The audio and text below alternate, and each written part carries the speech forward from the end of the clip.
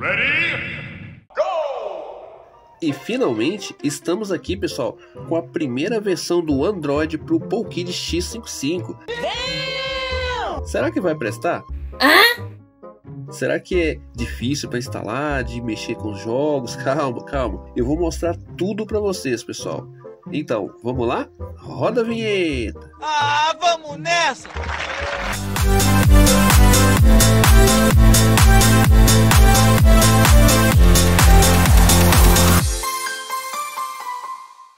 Fala pessoal, tudo bem com vocês?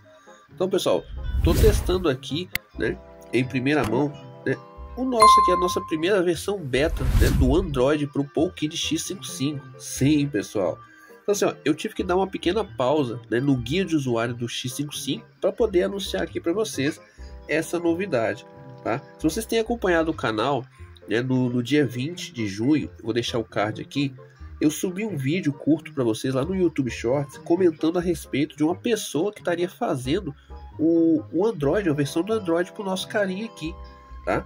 Então ele tentou o Android 13, não deu certo, né? tentou o Android 12 e naquela mesma semana ele ia ter uma versão beta para a gente testar, mas não foi o que aconteceu. Então pessoal, todo mundo sabe, né, que a gente, né, além do, do das nossas tem as nossas coisas para fazer, família, trabalho, né? então esse nosso amigo ele ficou com pouco tempo para poder trabalhar nessa versão do Android, né? E também ele tinha recebido um outro aparelho lá, ele acabou focando o tempo dele naquele aparelho, mas ele nos disse que ia voltar a trabalhar né, na, no Android para o nosso PoleKid X55, só que é, ia demorar um pouco mais. E foi o que aconteceu, então não foi naquele dia lá que a gente conseguiu testar essa versão beta. No mês de setembro, não sei se é, dependendo do dia que você está vendo esse vídeo, no mês de setembro, o nosso amigo, eu vou citar ele pelo o nome dele lá no Discord, que é No Time 2D8, né?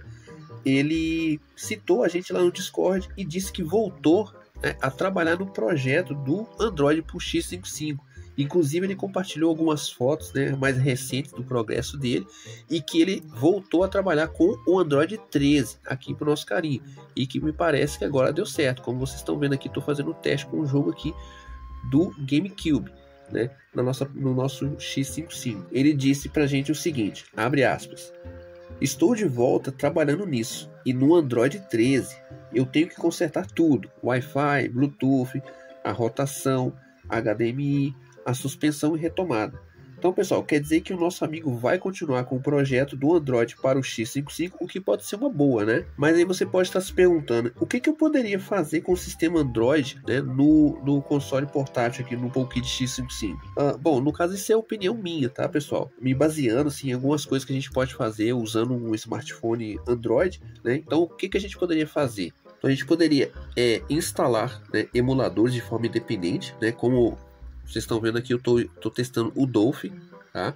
E também o RetroArch, né? Então, todos aqueles emuladores que tem no sistema Gelos, né? Tem um, tem um emulador do RetroArch e tem um emulador independente, né? Então, aqui no Android é mais fácil a gente instalar um emulador independente, a gente pode ter mais performance, tá?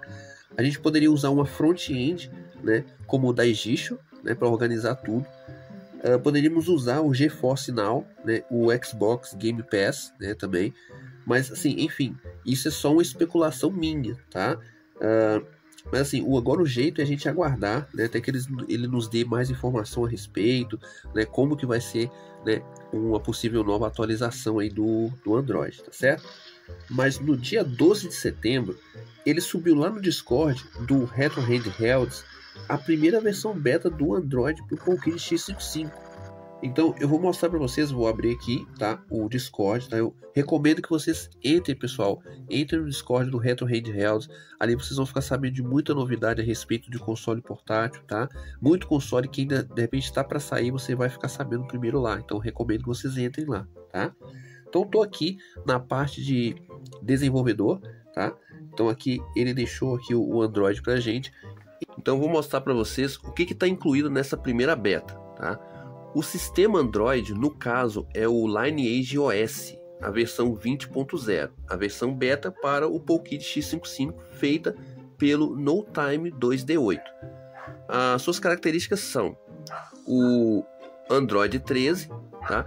ele vem o Play Store, suporte a Vulkan, performance melhorada, o kernel Rockchip 5.10.160, mais recente, o drive de joystick né, e botão atualizado, o padrão do governador de CPU de desempenho, tem suporte ao Wi-Fi, né, USB, OTG né, para armazenamento e o host USB né, para ligar um, o áudio USB, gamepad, etc. Uh, ele também escreveu algumas notas é, a respeito dessa beta. Os aplicativos do Google incluídos são limitados à Play Store devido ao desempenho. Então, né, pode ser que funcione lá a Play Store né, com as restrições, certo? Se estiver testando sem mouse ou teclado, você deve selecionar o inicializador ATV Launcher, aquele que eu mostrei para vocês logo no início, na primeira inicialização e defini-lo como inicializador padrão. Isso vai permitir que você navegue e jogue o PSP ou o Dolphin sem teclado e mouse. É, como eu falei para vocês, tem as limitações, né? Eu achei muito interessante de usar o mouse que para mim é muito mais fácil, tá? Mas dá para usar sem mouse também. Aqui ele fala sobre para ativar o armazenamento em massa USB, ele diz para ativar as opções de desenvolvedor nas configurações, né? altere a função padrão do USB para armazenamento em massa. Isso vai permitir a transferência de arquivos via USB.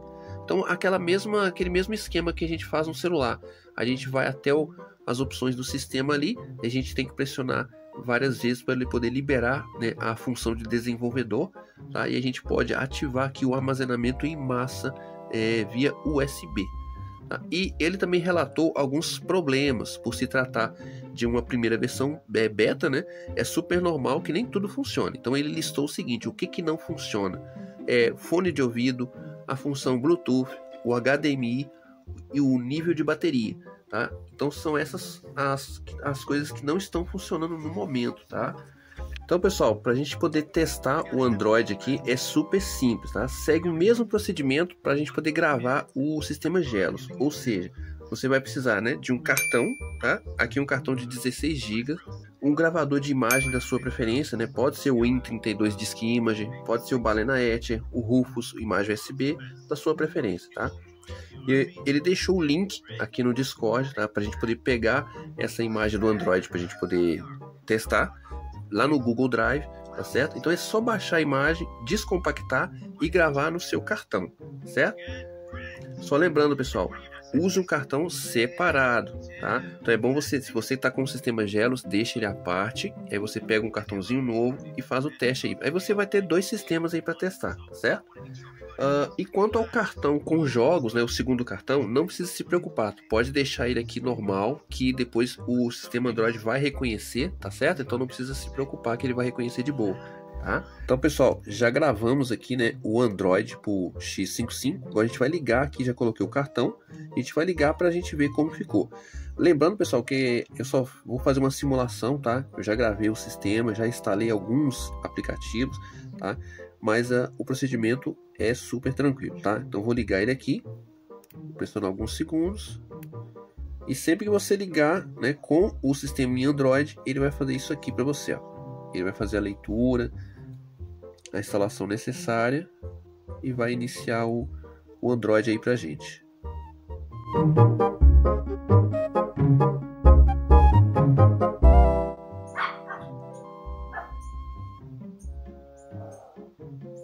Então ele já iniciou, tá? Ele dá essa tela pra gente aqui para poder a gente escolher um launcher, tá? Aqui já tem o ATV Launcher, que é o mais indicado para a gente poder usar no, no, console, tá? Tem um outro que eu botei o Daijishu, né, o Titanius Launcher, né, e o launcher dele que é o Tribush, tá? Só que o mais indicado é o ATV. Então vamos iniciar aqui, vamos escolher o ATV Launcher, tá? Eu vou fazer o seguinte, pessoal, algumas coisas é legal da gente fazer com o mouse, tá? A gente consegue fazer muito mais coisa aí. Porque é a versão beta, tá? Então vou colocar o um mousezinho aqui.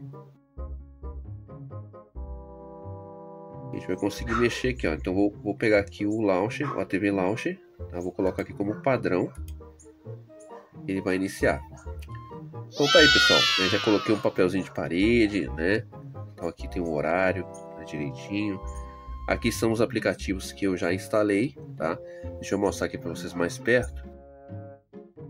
Então tá aqui, pessoal, eu coloquei aqui o Daijisho, tá? Ele não tá 100% customizável, tá? Por causa da versão. Coloquei aqui o emulador do Nintendo DS, os dois emuladores aqui do Dreamcast, né? Ele já vem com o PPSSPP, tá? E o, o Dolphin aqui, tá? Eu coloquei aqui também um emulador de, de PlayStation 2, tá? Porque eu vou dizendo, pessoal, aqui é só um teste, tá? Então, ou seja, não vai rodar bem de, forma nenhuma, tá? Então é só um teste meu mesmo que eu coloquei para testar, tá? Então aqui tem o Nintendo 64, tem aqui o DuckStation no Play, tem o 3DS também que não recomendo porque foi só teste meu mesmo, fica muito ruim, tá? E aqui o sempre, o Play Store, né, galeria, coloquei um gerenciador de arquivos, coloquei um jogo Android também, só que ele não funciona totalmente bem, tá? Então tem muita coisa para poder melhorar. Então é isso aí, pessoal. Tá aqui, ó. Né? Posso mexer com, no console? Claro, ó. A gente consegue mexer tranquilamente, ó.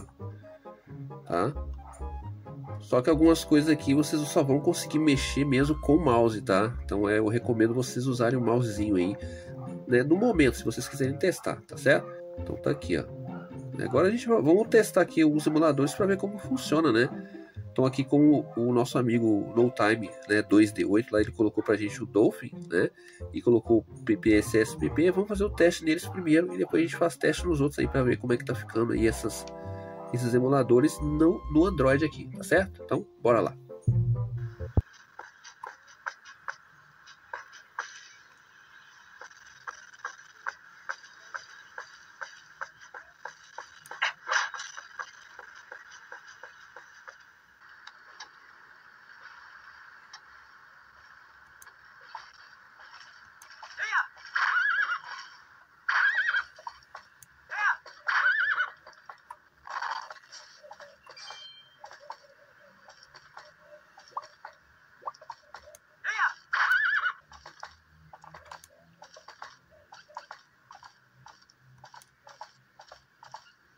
Algumas partes aqui, pessoal, tem grande queda de frame, tá?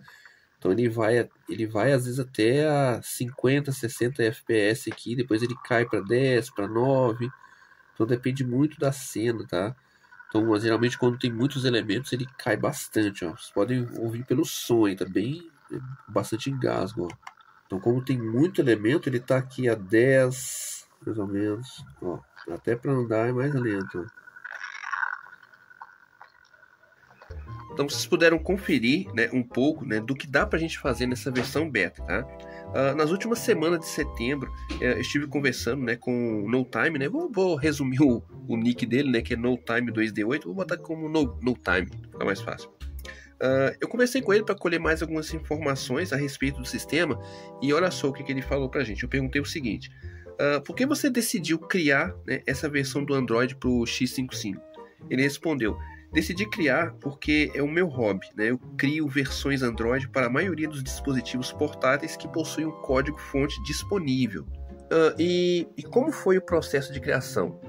Meu processo né, está em obtendo um kernel para iniciar né, com a saída de vídeo e tal. Em seguida, construir um Android básico com gráficos de software e hardware. Depois que o que estiver funcionando, tento fazer a maior parte né, do, do, que do hardware funcione. E eu perguntei o seguinte: uh, como, é, como é que está o projeto atualmente e se você planeja lançar uma atualização em breve?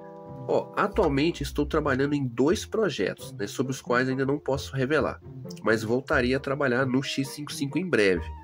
Né, esper esperamos que algumas coisas sejam transferidas aqui para o X55, então vem novidade por aí. Uh, e como os usuários né, do X55, né, como é que a gente pode ajudar né, o nosso amigo, de repente fornecendo feedback sobre a experiência do usuário?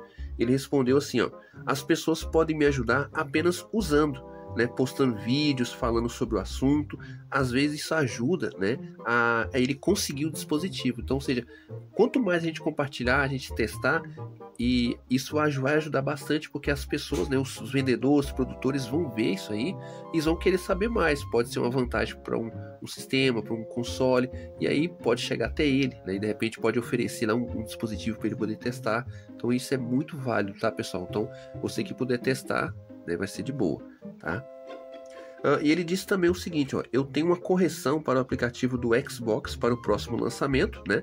Ele vai verificar, é, corrigir a decodificação né, de hardware e outros aplicativos. Então, pode ser, né? Pode, a gente pode esperar que vai ter novidade aqui pro, pro Android no X55, tá certo? Então é isso, pessoal. Então foi as primeiras impressões, né? Uh, não é aquele análise 100% completa, porque ainda tem muita coisa para a gente poder descobrir a respeito, né? A gente vai aguardar também uma possível nova atualização, mas tá aí para vocês verem, o Android existe sim, o nosso PoleKid X55. Então eu vou deixar o link, né? todos os links vão estar na descrição para você poder pegar a imagem, para você testar. Como eu falei, use um cartão separado para você testar o Android, mas mantenha o seu com gelos aí direitinho, tá certo? Então é isso, pessoal. Vou continuar fazendo os testes aqui e sempre que der eu vou subir um vídeo curto testando algum jogo, né, usando o Android no X55, tá certo, pessoal? Então qualquer coisa, deixa nos comentários. Dá aquele joinha, se inscreva no canal, né, ativa o sininho para receber as notificações e até o próximo vídeo, pessoal. Valeu!